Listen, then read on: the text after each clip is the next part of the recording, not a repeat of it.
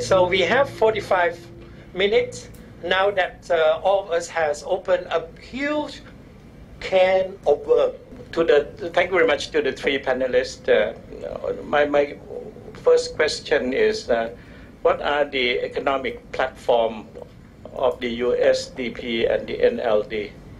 And if they do not have the economic platform, what are your views, each one of you, on, on the economic development strategy for, for Myanmar in the years to come? And are you social democrat, welfare state, or are you a liberal democrat for the capitalist, unfettered uh, economy and so on? Thank you. We didn't actually uh, hear anything about the military themselves as an institution. Uh, I would just ask one uh, long-term question. Is it fair to say that uh, the military are the only institution that holds the country together and the government together. And therefore, if, if that is the case, uh, what do you see in the future? I mean, is there a new generation of military that uh, would have a different way of thinking, that would accept some sort of diminished role of the military in the state? And would that have any consequences on the, on the unity of the country? Thank you. Good morning, everybody. I come from Myanmar, teaching ASEAN Studies at the Bangkok University International College. As a Myanmar citizen, no matter whoever is the election winner, we need to rebuild the country with a new generation, new bloods. So is it possible to have somehow, to have the hijacking the, the new military with the civilian, with the like-minded educated people with the international observers, like the ad hoc commission to rebuild the country, to shape the countries, as the most of the NLD members are no experience for the bureaucracy and we have short of politicians. So is it possible to have ad hoc commission with the international community, observers, and like-minded I know that there are so many new generation military young men, they don't like the management. Is it possible to have the institution like that, ad hoc commission like that? Thank you. Well, so far they have not published, so in terms of revealed preference, you can't tell. But I think it's more of the same for many, but there is a hint like NLD would be much talking about equity issues. So they could be seen as a social democrat, I would say, in terms of economic policies. Uh, they would be much more critical about foreign investment, I would guess, and that, that is the fear, right? But it depends again on, on actually how what do you want out of development? Growth, equity, stability, the EGS thing which I used to talk about. Equity come first or growth come first or stability. Stability means volatility of the money and thing. You know, when you go on a market economy, volatility is unavoidable to a certain extent. Inflation is unavoidable to an extent. The Laffer curves may not work. The Phillips curve may not work. So uh, it is very difficult. And Vietnam has gone through that devaluation phase. Indonesia had happened in Indonesia too, and, and they had to battle through that. So the kind of uh, fall of the kyat from, from 800 plus to 2002 yes, it's huge, but still compared to what Dong happened to Dong in the early years of Doi Moi. So, so that, that, that's another thing. So in that sense, I would say we don't know, but there will be no going back to socialism, of course, there's no alternative. The only thing is how much is the state invention, intervention, how much is the private sector uh, kind of uh, freedom or, or, helping out the private sector in a way. That, that's, that's the issue. Uh, regarding the military, yeah, we, because if you want to talk about military, it will be another forum, I would say. But anyway, so far the commander-in-chief says that he will not, uh, he will ensure that there's a, going to be a free and fair election and will abide by the results. Uh, yes, uh, the withdrawal thing, he also said that, I mean, in an interview with BBC, something like, I mean, I can't exactly say, uh, that there, uh, it is imperative that there would be peace and disarmament of the armed uh, ethnic organization before military could consider it safe and stable enough in the government not to be uh, in, in, in, the, in, in the parliament. So that, that's how it, so if he said he may take five years or 10 years, you never know, but the ball is on the other side court, the ethnic armed organizations. Uh, I think that is thing. And of course, uh, the question of the military autonomy issue, that's a constitutional issue too. Virtually, yeah, it is intact and probably would be intact until 2020. Um, regarding the, the question about the special non-elected commission, it's a very tempting idea to have a kind of a mm, bureaucrats running it. It, it. Again, our friend Thailand has done that in the past uh, um, for a short period. But I think under the present politicized charge atmosphere, it is almost impossible. And this thing about the myth about not having enough qualified people. What do you mean by qualification? What do you need to become a president? What do you need to become a minister? Uh, because basically nobody had experience because of the way the country is run in politics has been run for the last 60 years. Nobody had a chance to take a. Even Ronald Reagan, though he was a B-class actor, he was a governor before that, right? So in that sense, we don't have. Yes, that's true, but doesn't mean it will stay forever like that. Have to stay forever and get the come from the old old little. Um, getting to the bottom of the of the barrel and scraping up the same old old people molded under the system. It is, I think, it's we have to go through a bit of a learning experience, learn very fast, and we have to trust, trust the people, trust the uh, the the pyramid form of the, the top leader and the rest of the people following should not be the case in democracy. It should be a barrel shape, beer barrel preferably. Uh, that that's what I see it. And and the thing of ability to run huge military units is completely different from ability to run a diverse country because that's because the other thing you can run by command and order. So that not necessarily means you have a better position to run than a neophyte who has just run his own family business. Thank you.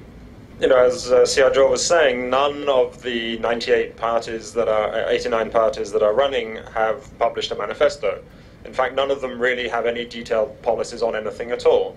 Um, so the USDP has no economic policy, just like it has no policy on any other issue. But it's not noticed as much in the case of the USDP because, as some kind of incumbent, they can sort of claim whatever government policy is as their policy. Uh, the NLD uh, doesn't have any policies, but they've been pushed and asked many times, and they've finally come up with the skeleton of an economic policy, uh, which has been made public, I think, uh, or semi-public. Uh, and uh, you know, it's it's a it's a good document. it's sort of a series of headings of what they think is important in the economy, and it's about how you need you know equitable growth, and you need growth that respects the environment, and you need you know a balance of local and foreign investment and all of these are good things, but it gives no indication of how you balance the different priorities and how you come up with an economic policy that can achieve those things. Everyone would love to have green growth as well as job promoting growth as well as uh, equitable growth, but how do you achieve it? And I think you know, that's been the big problem for Myanmar. There's been uh, a lack of a vision of what kind of economy Myanmar wants to have. Of course, it wants a free market economy. It doesn't want the old failed economy. It wants a new successful economy. But how do you get there? What, what's the what's the vision for that? And I think that's been lacking on the government side. It's certainly lacking on the on the NLD side. Um, in terms of the military, I think uh, you know we have to remember where we came from five years ago, which was a country where the military held approximately 100% of the power, uh, and uh, they therefore were the ones who initiated and backed the transition. Uh, it couldn't have happened unless it was their idea and they supported it. And, and so, in that sense, I think um, we're now in a middle ground where they've started this thing.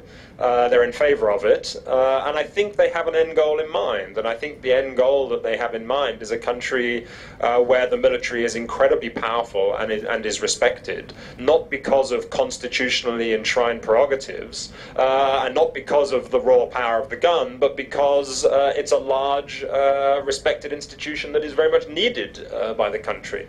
and and so I think they, they see a future where they are outside of outside of the legislature and outside of politics and don't require, you know, the, the, the kind of constitutional uh, privileges that they now have. But they're very unclear of what the path looks like from the current situation to that end goal. Uh, I think they're very comfortable with the end goal in the sense that it enables them to have a, what, what the commander in chief calls a standard military, a modern professional army that isn't involved in politics and isn't involved in internal fighting. It's it's there to protect the nation, uh, and and they think they would have you know much better international military relations if they could get to that stage. They would have access to international training, uh, Western weapon systems, and so on. All of the things that they think uh, they need to uh, to, to, to have force equivalence with, with regional countries. But so the end goal is one I think that they are comfortable with in principle, but they have no real idea of how to get from here to there. I think that's the issue. Um, and I agree on the ad hoc commission. I think it's, uh, it's, it's, a very unlikely uh, prospect in the current political environment. Uh, there's only one political party that has sort of released uh, a clear economic policy, which is uh, quite ironic. The, the, National Unity Party, the, the former Burmese, uh, the Burma Socialist Program Party, the, they, they have a clear policy of social welfare state. But if you ask all other political parties, they will come up with really contradictory uh, sort of like you know, all the things the people would want to hear from like you know, as Richard has rightly pointed out, from green growth to uh, the free market to all kinds of things. But a clear economic policy, only the National Unity Party and their policy, uh, the, the, booklet, and no one has read. I mean, I, I read it quite a while ago. Uh, but other than that political party, uh, all other political parties, if you ask them, uh, we are all for the free market uh, economy. Uh, like they cannot really, the, I mean, at least to me, the, the people I have asked, the, the, they have not been able to really articulate what uh, their economic policies are in a very, very concrete manner. Um, the second question, uh, like, you know, I, I agree with everything uh, that uh, both Richard and Seatin have said. One thing, though, is, like, you know, the, the, the, military's domination role. Or like, you know, we have started to see that in the last five years. Like, uh, the, we, like uh, since around 1962, all we saw on TV, I mean, like, you know, we started having uh, the, uh, the, the TV in the 70s, but on newspapers, all green. Like, you know, from 1988 to 2010, like, you know, you, you only saw greens on everywhere, uh, in the state media, outside, state functions, everywhere. But now, you hardly see them. Like they have their own newspaper. Even then, like you know, you don't uh, see military leaders uh, on uh, in, uh, in, their own newspapers or their own TV on their TV channel as much as we used to. In that sense, uh, like uh, the, the, they are, I mean, like you know, they are playing less and less role in Myanmar society. And then I was telling you about some of the, the surveys I have conducted in ethnic minority areas. In all areas, with with no exception, uh, well, one exception, that it's Kachin State. In all areas, what people said is uh, the biggest change under this current administration uh, uh, in all areas except Kachin State is like we don't see, we don't have to, we don't have to be afraid of the soldiers anymore. So that is the answer. I mean, I'm not saying that they don't have to be, well, our soldiers as much as we have we used to. I should qualify. So that's what they said. And then like a, a woman in Chin State, uh, a woman I interviewed in Chin State, that, that briefly, that should answer your question better. I asked her, like, you know, how are the soldiers that are like in your neighborhood? So, oh, we don't see them that much anymore. But last month, a soldier from nearby battalion borrowed my motorcycle and then he said only a couple of hours, and he did. Like, I didn't get it back for about a week. And then once he returned the motorcycle, it was like you know seriously damaged. So I went to talk to his battalion commander. The commander apologized and then repaired the entire uh, the, the, the motorcycle and paid for the expenses. And then he was very, very, the commander was very, very apologetic people in, in that area in the past uh, would not have done that. So they end up like uh, we have started to, uh, to, to, to, see the changes. What we will have to, uh, to, to, wait and see is whether such changes will continue or not. I think it will. But one thing is whether the military will play less and less role in, the, in politics. It depends on both sides, both the military and political parties. Uh, for like, uh, polit- political leaders, like you know, they right now is they will have to find, as I said earlier, a, a working relationship uh, with the army, and then like you know they they'll they if they do, I mean they will they will have they will have to be critical of whatever they think they, they should be critical of, but at the same time uh, they will they will need to convince military leaders, at least those who who are taking the leading role, that they would not do anything that would rock the stability in the country. One last question. Again, I agree with both uh, uh, Richard and uh, Siatin has said, uh, have said. Um, like you know, when it comes to experience, like you know, almost everything that the, both the government uh, the, and society are dealing with, we are we are we're doing almost everything. In the new context, we're trying to do new things, so that the, the learning curve was is still quite steep. But at the same time, as I said earlier, people are learning. People are learning to do uh, the, the, the, right things. People are learning to deal with the situation. I think it will get better. This is a learning process. We should not go back to an easy solution and bring in unelected members and let them run. Like, you know, we all know that, that in 1958, the caretaker government did a pretty good job. So in 1962, people are now very critical of the, Ne Win government. Back then, people welcomed the, the, the coup. Many people. They thought that the, Ne Win would go back to the barracks after a couple of years, after he cleaned up the, the country. But what, what we ended up with, we ended up with military, the, the different military governments for many decades. We would not want the repeat of that, so I would not go for uh, an a non-elected commission running the country. The, the $64,000 question here is stability. Each has its own definition of stability. For some people, stability is dead calm. For some people, stability is choppy waters. And of course, it should not be a perfect storm, but you can't avoid choppy waters in the real world. That is the problem. What's this? Oh, I was just going to add on, on uh, my. Um, I recently tried to address this question of where the NLD or how it was drawing up policy platforms. And uh, as uh, some of our panelists said, they are rather vague. But I did track the uh, person now charged with drawing up uh, or overseeing a full economic policy, who is a very charming and bright, but, uh, but, but is a physicist. And I said, Have you ever done anything like drafting economic policies before? And he said, No, never. So that's the kind of approach I think that's been taken, and it's really not not that much. I think this election about policy. So all those voters out there are not expecting and not asking.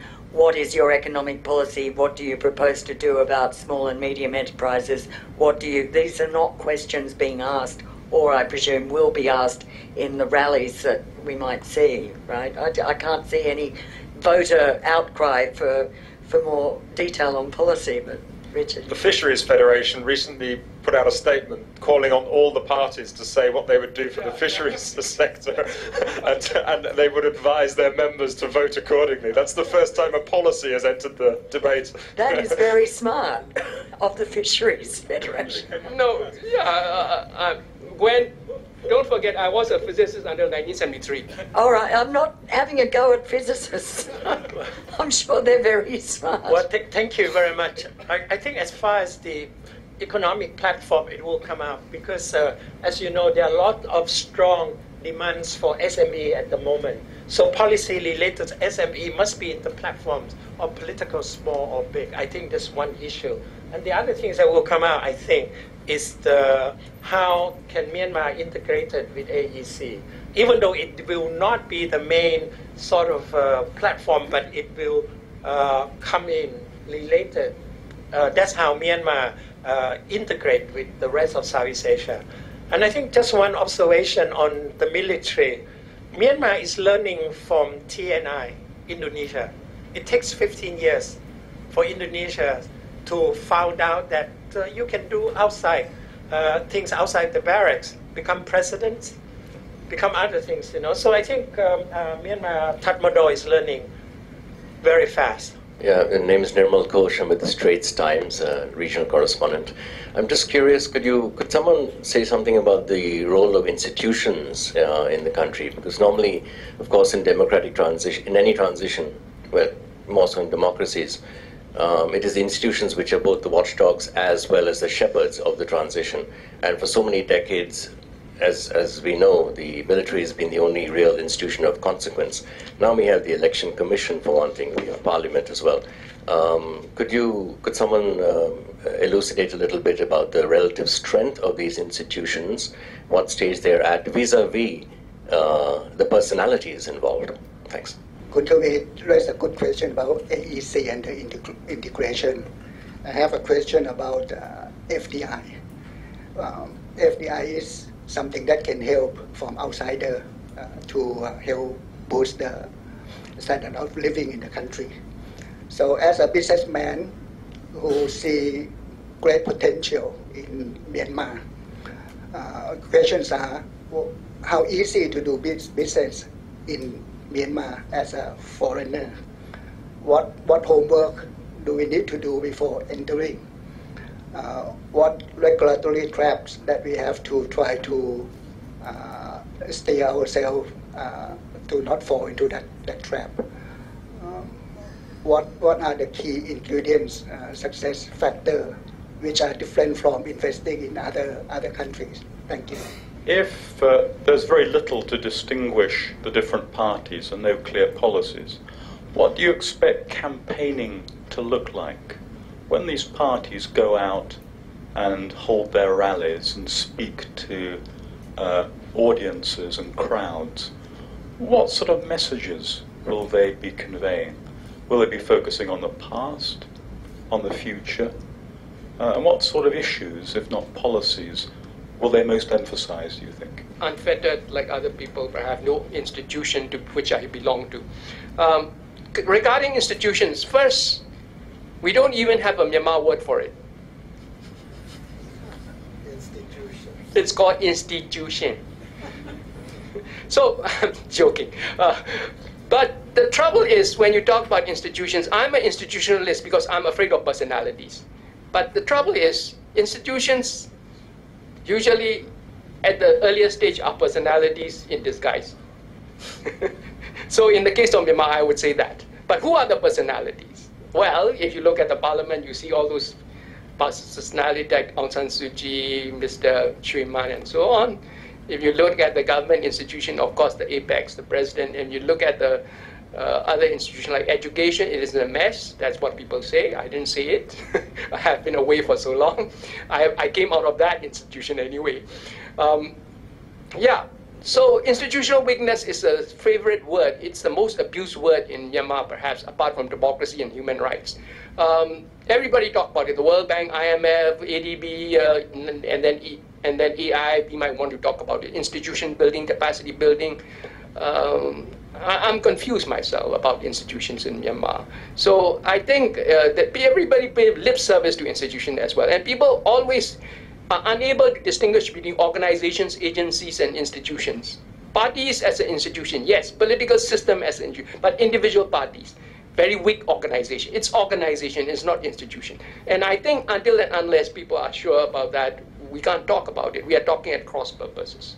Uh, what what do we talk about FDI? I'm sorry, the gentleman, because if I know the answer, I will be very rich and back home in Myanmar.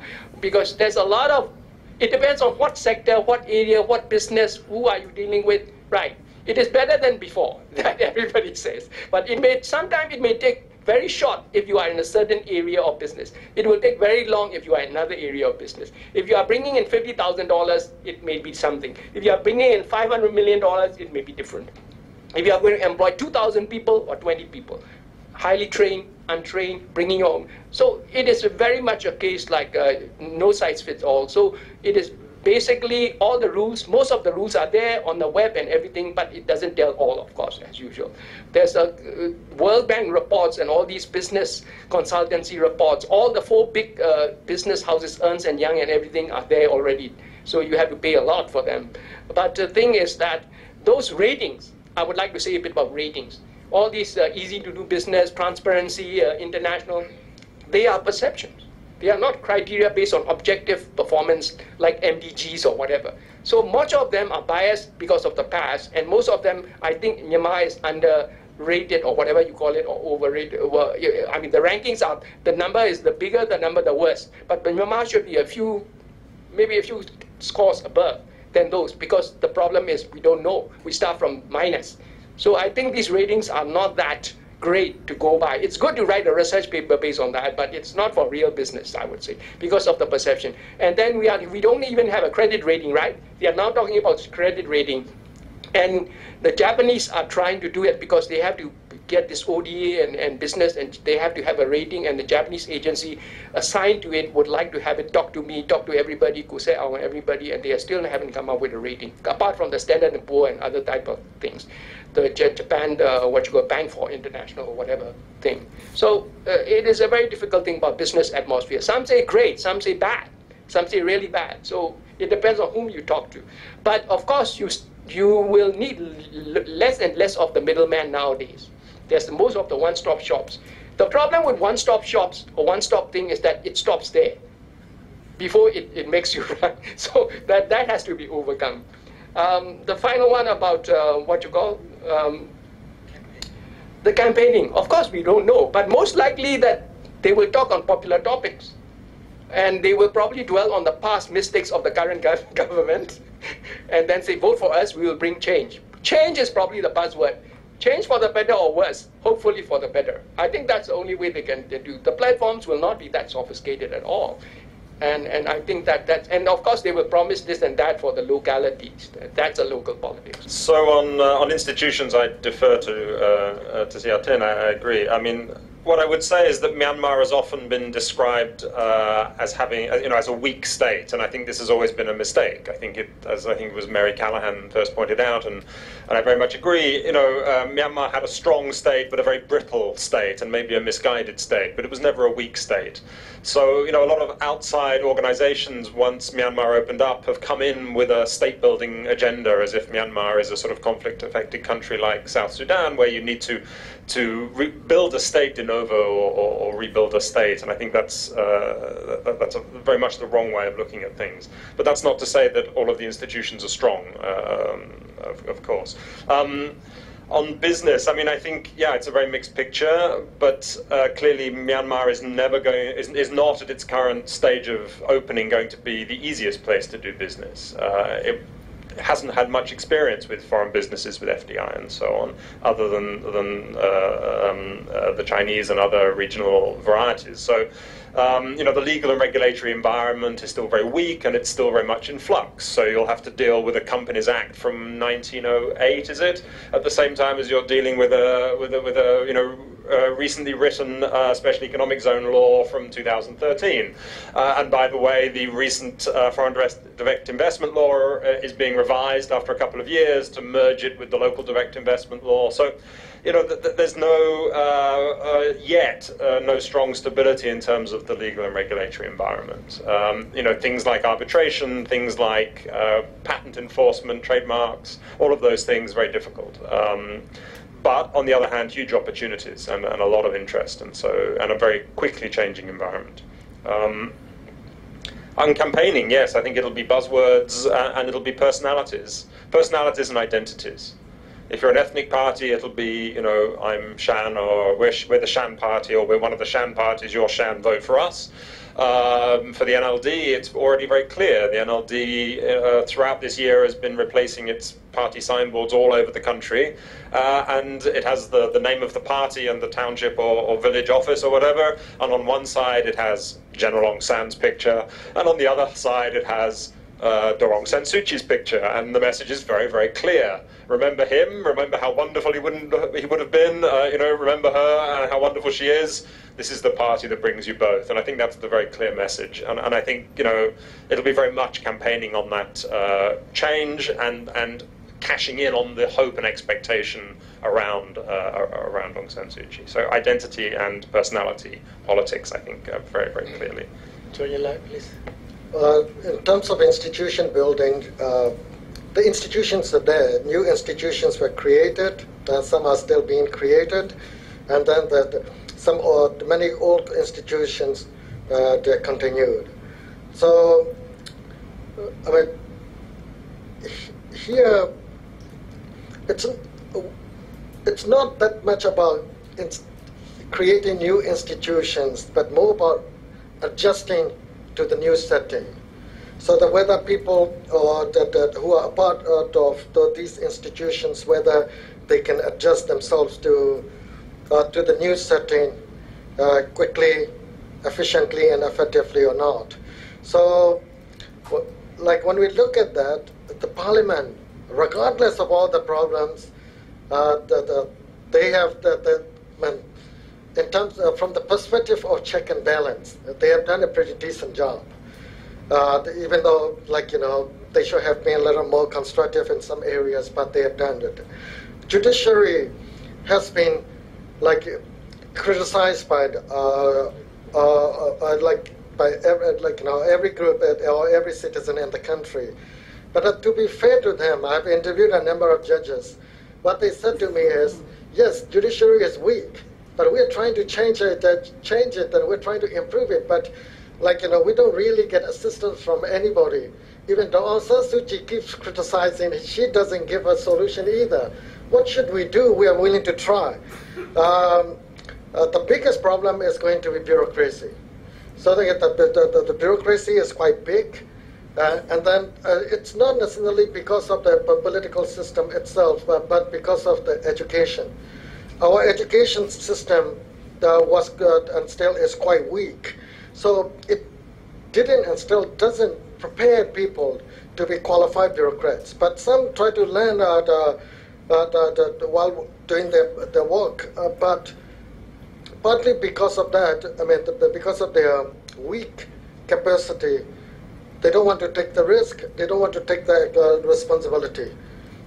And then one in in dealing with like more open media, social media network, uh, and then also civil society, they, they, are, they have become less and less courageous about uh, taking, the, the, doing daring things. So the, the, the, bureaucracy needs a lot more work. Uh, and then now, yes, at the local level, the government has introduced uh, three committee systems, which is community leaders became a part of the decision-making process. There are three different committees, including uh, the, the, the, the, township level municipal committee. Uh, so the bureau, bureau, and civil servants and ad, administrators, when they are being monitored by these people, in some areas they became, they didn't become more effective. They became less and less effective because they didn't want to take the responsibility and they didn't do it. So uh, yeah, the, I mean the military is still the, like you know the most organized institution, but still, as I'm cautiously optimistic, I think uh, we'll. I mean, the institutions we now see today is better than the, the, the, they were three years ago. But three years from now, they can only get better. So that's how I would look at it. Um, the, uh, the question on, uh, on, on FDI, both Richard and Siate have answered that question, and I don't think I have anything new to add to it. And then the party platforms, like, you know, uh, uh, as my colleagues have already said, people will talk, will talk about both past and present identity, ethnic political parties, as Richard said, uh, will talk more about identity. NLD will talk more about the brand, like you know the Aung San Suu Kyi brand. Like uh, so, can, I just hope that they know the difference between confidence and cockiness. Uh, and USDP will talk about continuity of the, and then like you know the rest will talk about changes. But you will be surprised there will be some smaller political parties uh, that will also place more emphasis on the continuity of current reform process. So we're going to, we now have like, you know, a large number of political parties. So like, you know, you name it, at least one party will talk about it. Oh, it's very interesting. I will differ from all of you uh, in one point. I think in the past 18 years, when Myanmar joined ASEAN, there is a large group of bureaucrats being trained to be ASEANites. And nobody mentioned about this. This will be a new force. Because of everything integrative effort across cutting of the three pillars, you cover all so, socio-economics, political, security. I think people underrated. Myanmar, ASEAN bureaucrat for the past 18 years is the most trained. They have been given training, overtrained, I would argue, in the past, and they have delivered. They have delivered when they are, when they were chairman last year. They deliver for the wrong reason, I would say, because the uh, they tend to give in to the all uh, uh, demand. So that's why they have the longest uh, joint communiqué about uh, uh, 12,000 words. Normally it's 7,000 words. So I think in this area, you will see that this bureaucrat, they are new driving force. For example, they try to integrate it in areas like green economy. Of course, people laugh at it, you know. And for example, on human rights protection, people laugh at it because there are a lot of violations. But Myanmar set up a National Human Rights Commission, which has not worked very well, but they have got one anyway. So they try to do all this. They try to increase the protection uh, provision. You have a lot of complaints of uh, national councils, over 6,000. A lot of them about land convictions never give a full address yet. But this kind of mechanism will, I think, increasingly become more visible and integrated with ASEAN. I, I don't think you should ignore this because Myanmar, like any other country, would try to integrate with the rest of ASEAN. And if you look at the FDI of Myanmar, they rank pretty high within ASEAN blueprint. I don't want to mention the core country or the old member of ASEAN. When they come to compliance, they fail they have not looked uh, as good as a new member. So the argument that uh, new member of ASEAN dragging down economic integration is actually half truth. No, I agree with you. Uh, the, but one thing is, though, when you look at the Myanmar participants of uh, ASEAN meetings in the last 18 years, they, they're older than the participants from all other countries. So the kind of many of these people have either have retired or they will soon retire. That is the danger. You are right, and I think there are new young generation that that coming in. It's a sort of a rotation thing. There is a little gap. I mean, among those my generation, who are the ASEANites, uh, and then the younger ones who have been trained in all over the world, which are in the 30s. So there's a gap at the third echelon, second echelon level. So these guys are still at the rank of assistant directors and things, so they haven't reached DDG director level. So there's a gap which has to be catch up in, in that sense. And another thing is that the Ministry of Foreign Affairs, yes, is probably the most highly trained and internationalized uh, bureaucracy, but the rest, sadly say, are being trained in a very confusing way. There are so many trainers and so many trainees and repeat trainees, and they complain to me, I'm also part of the training system. They say, we have to come to your training course, then go back and work until midnight, right? And Sundays. And then we train on Sundays. Oh my God. And, and then each come with a different idea of public administration, blah, blah, blah, and, then and they get confused and they are overtrained. The ministers are very keen. Go to the training, go to the training everywhere. But the trouble is the trainers themselves are probably, some of them are, I'm sorry to say, not real trainers. That's, that's a problem. Nobody has said anything yet about relations with the US or China what would the post-election situation uh, be like? Would that would you see a clearer alignment with one side or the other?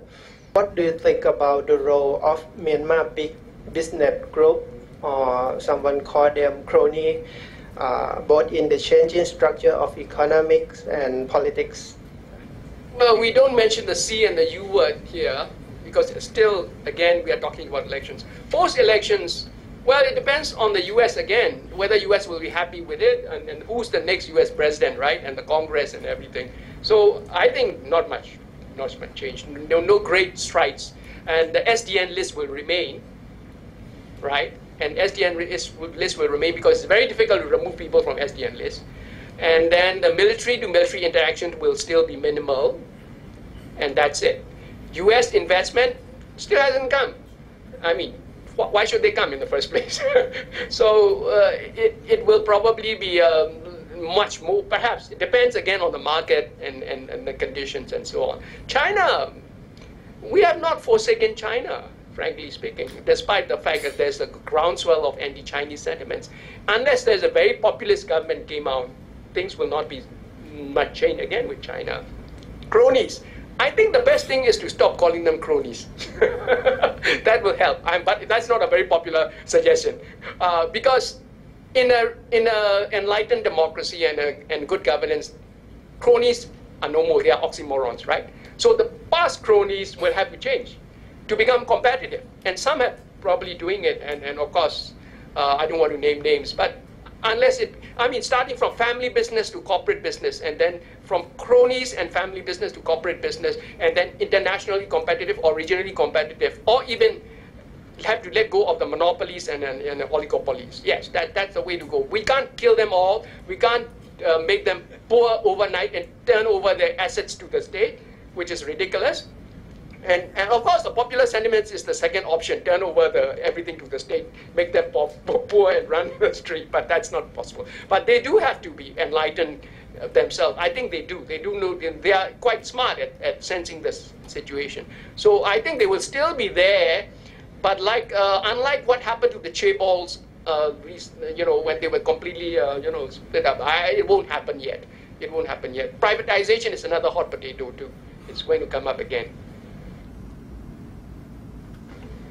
Yes, I agree. I mean, the idea that uh, Myanmar could ever move too far from China, if you look at the map, is is, is ridiculous. And, and, you know, despite the fact that some uh, in the more paranoid end of the Chinese foreign policy community in Beijing see the U.S. hand in everything and, and worry that Myanmar is going to forsake them, you know, I think the more moderate voices uh, in Beijing have it right. Uh, China, you know, Myanmar's not going anywhere.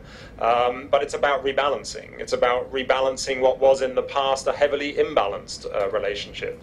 Uh, and that wasn't good for Myanmar and it wasn't good for China either. And, and, and so it's, it's a healthy rebalancing. Um, what will happen after the elections in, uh, in terms of US relations depends on whether we're talking about the Myanmar elections or the US elections. Because uh, Myanmar is shaping up to be quite an important part of the foreign policy debate in the US elections. Uh, Hillary Clinton's uh, big uh, problem is uh, Benghazi, and her uh, claim to success is Burma. And so the two Bs are going to dominate uh, foreign policy issues in the US presidency. And so I don't see.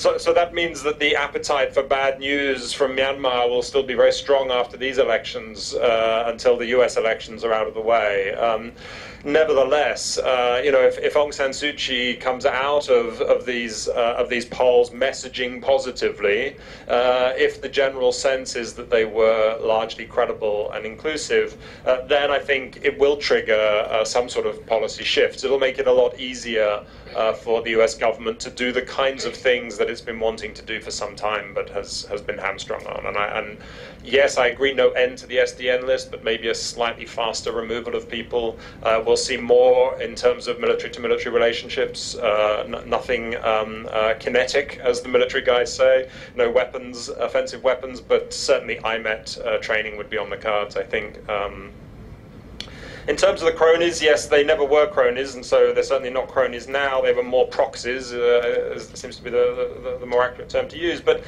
you know, uh, they were among the first to shift. They saw which way the winds were blowing before almost anybody else did uh, early in 2011 and started claiming themselves, two of them at least, as sons of 1988, uh, uh, you know, sidling up to the NLD. Um, they saw which way things were going and, and um, uh, you know, they can be not only uh, problematic in terms of their footprint in the economy, but they can be a huge uh, asset for the economy. They have resources, they have capital to invest.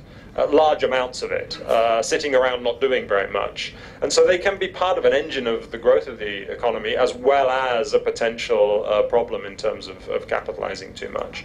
But you know, the, the economy is growing fast enough and divi- diversifying fast enough and the rules of the game have shifted enough that their footprint won't shrink, but the rest of the economy will grow around it. And so I don't see them, uh, neither them nor the military actually, as having uh, a controlling interest in a future Myanmar economy. Still big players, but not the dominant players.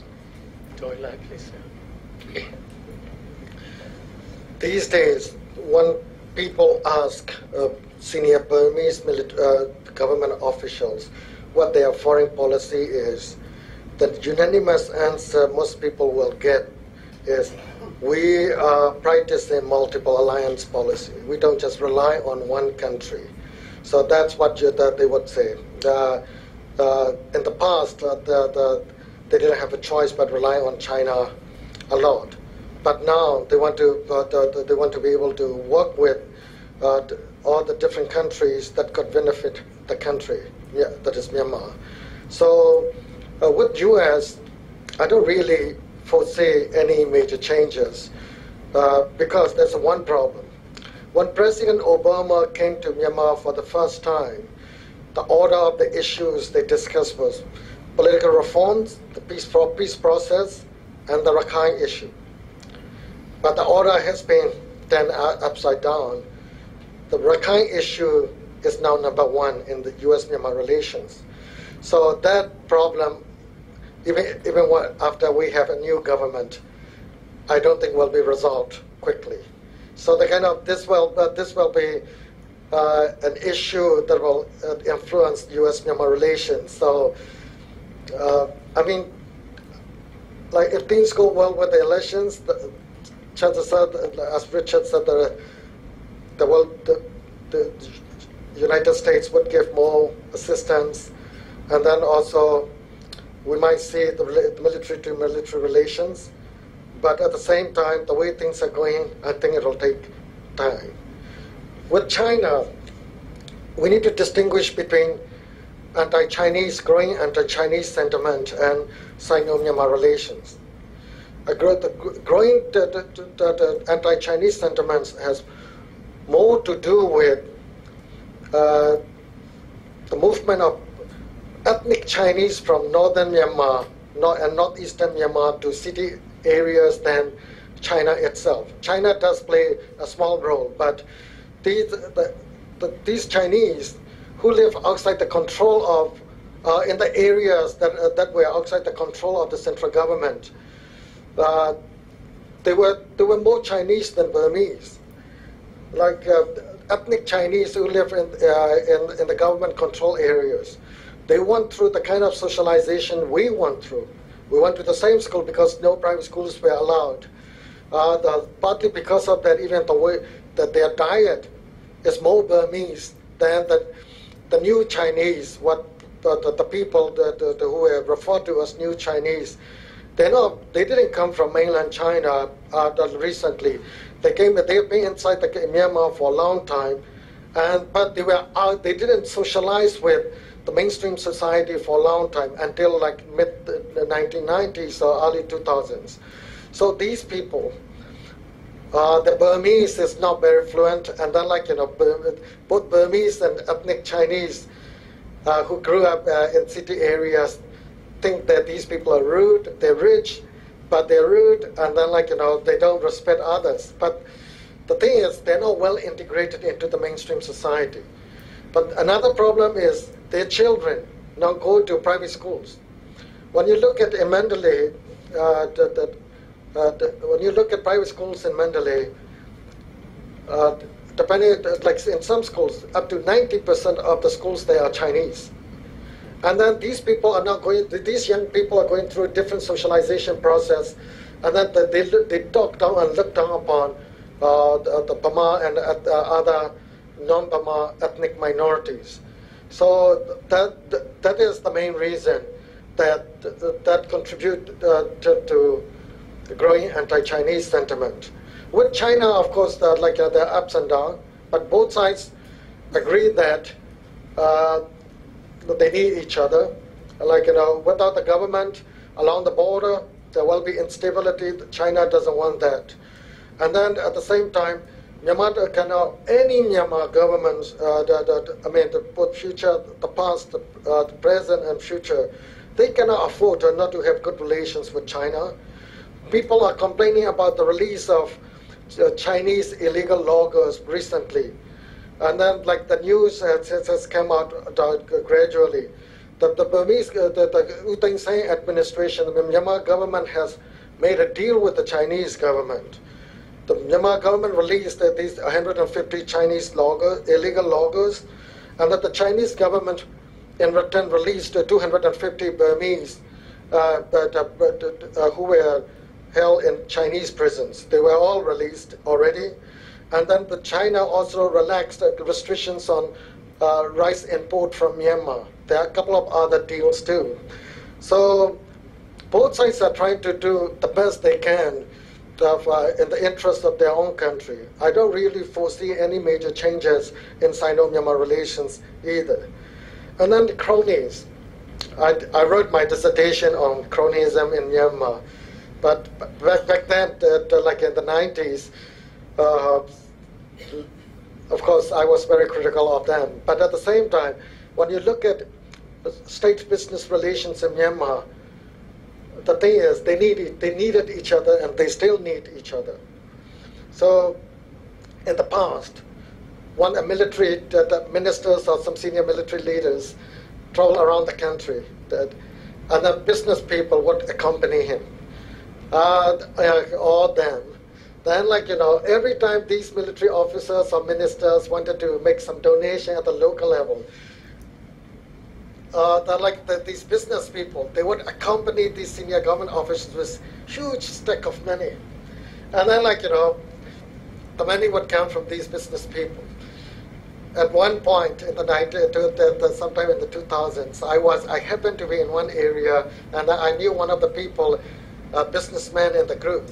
I was standing with them, with, with him, but that person uh, was not with his assistant, so he didn't, have, he didn't carry any money. And then suddenly they, need, they needed the money. And then only like about half a million kyat. And I got the money, so I gave it to them. I loaned the money to them, and then, so that I started asking them. But right now is, these, they're like, you know, whatever you call them, proxies or cronies, like you know, in a lot of ways, Richard is absolutely right, correct. Like you know, there are more proxies than cronies. So, but like you know, these business people, they, they, they're smart enough to understand that uh, they would not survive. Uh, like in a, if they remain, uh, if they are still labeled as cronies. The, up to now, there's only one person who proudly said that, that he was proud to be a crony. One person, like I just that, like you know, he did he made the mistake of saying saying it in front of a political historian. I would not write about it now, but later I will write about it. Uh, but other than that, all others are really trying uh, to, to, detach themselves from that label. And then some are doing pretty good jobs.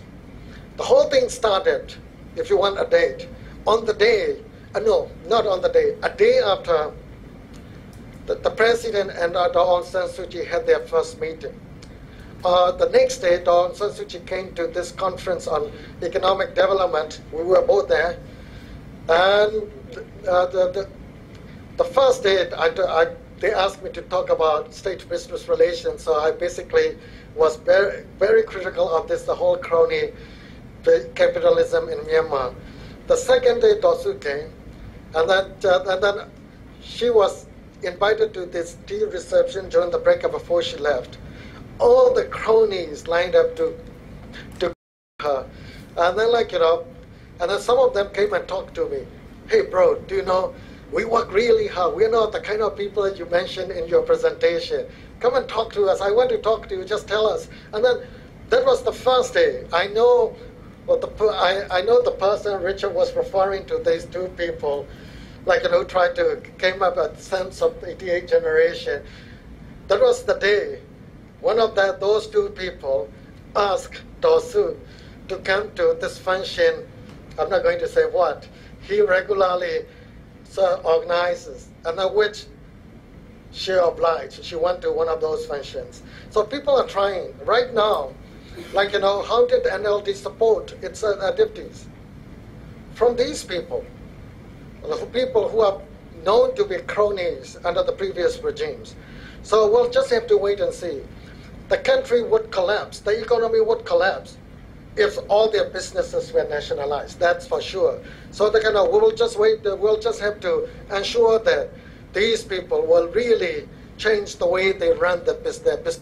It was quite interesting when uh, talking to the president that he uh, spent quite a lot of time on international relations, and uh, again with his sort of vision going forward, I think he he put great stress and emphasis to say that China remained very much a friend and pointed out that it was still number one investor, uh, very um, happy with uh, the normalisation with and warming ties with the US, but still um, concerns about the, the remaining um, sanctions. And then very much stressed the role of India and said we mustn't forget India. We're sandwiched between these big powers. We must have good relations with them all. And it was very clear that, you know, the vision is something about Myanmar entering. Uh, a new phase of further expansion of, of relations, and of course bringing Japan on very much to um, to help fund a lot of the projects. And uh, I'll leave it at that. Well, I, I, want to add from what uh, Gwen is saying. Don't forget Thailand, oh, because yeah. one of the most country will be affected by the elections in Myanmar is Thailand. For the first time in Thai history, in its relation with Myanmar, we will have democratic rival. And with that, I like to leave you with no conclusion. I think we have done a great job with all the speakers who have previews, give you all the prospect and all the talking point you ever wanted about what is coming. And didn't want. and didn't want. Okay, and one thing, when Myanmar, this is one thing I learned being a Myanmar watcher from Thailand. When Myanmar decided on a roadmap, they pursue it to finale until it finished. Unlike the Thai, we have hundreds of roadmap. Once we have one obstacle, we change. Having said that, I hope you agree with me that uh, all the panelists have done a great, great job. And please give them a big round of applause. Thank you so much. And thank you for the sponsor for giving this uh, uh, kind